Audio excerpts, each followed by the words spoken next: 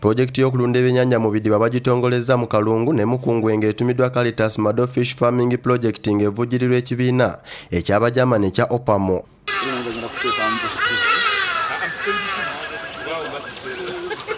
Omukolo gukulembeddwamu okukumba ne banning omumyuka wakulira enzirukanya ya caritas mado father peter senkayi ayanjudde abajamani omwami n'omukyala hards ne franz swop abataddemu ensimbi.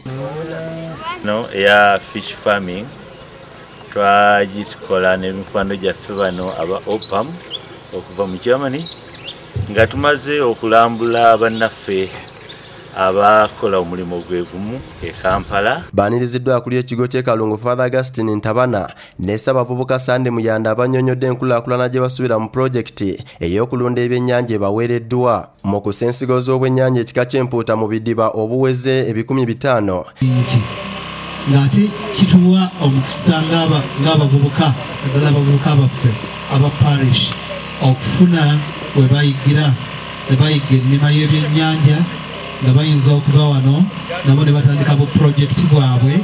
Basoose okubasomesa obukodyo bw'okubirabiriramu kye basobozesa okubigobololamu nga tebafiiriziddwa.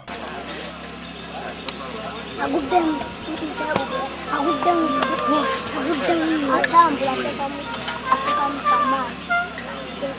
omukugu mu kwaluza ebyennyanja omwami sekyewa abalungamizza ku bye bateekeddwa okwewala okuli okukuuma amazzi endiisa y'ebyennyanja n'okubitangira ku bibiyigganya okubirya.